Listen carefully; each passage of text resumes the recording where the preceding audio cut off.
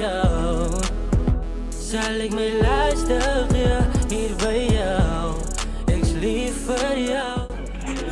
Hello guys, we are Adam John Lil Willy and we just wanted to tell you to look out for the movie White Lies 2022. Alla så förrän